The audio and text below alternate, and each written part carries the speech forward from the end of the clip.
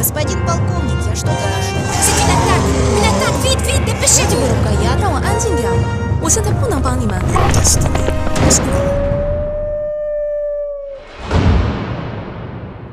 Елена и Жан Гаэль вошли в огромный, почти квадратный зал.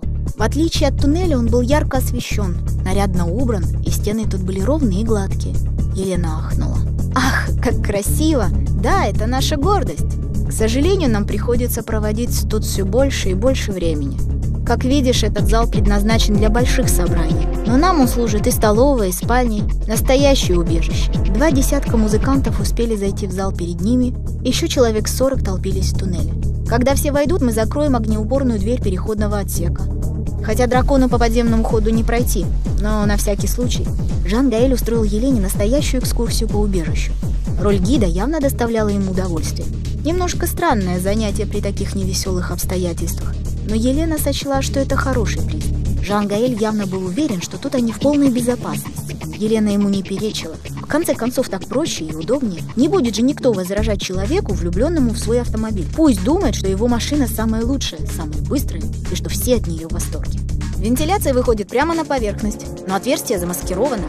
У нас есть запасы воды и пищи, независимое электроснабжение за счет геотермических батарей. Звуки отсюда наружу не проходят, а внутри постоянно поддерживается тепло. С помощью радаров мы ведем наземное наблюдение. Видим, есть ли поблизости чужие. Вся аппаратура устойчива к высоким температурам. Вот сейчас, видишь, в соборе полное затишье. Зато на востоке заметно значительное движение. А что там на востоке? На востоке находится страна туманов. Оттуда приходит королева Тереза со своими драконами и наемными солдатами. Значит, это туда увели моих родителей?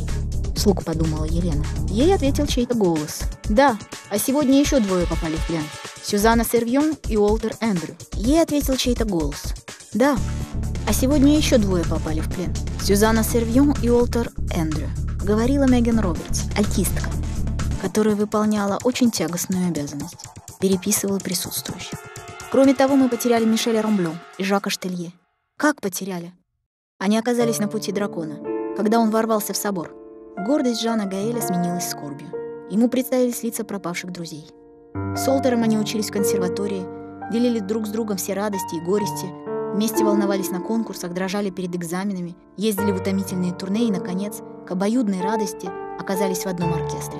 Олтер исчез. Следующим, возможно, будет он, Жан Гаэль. От этого не спасет никакое убежище.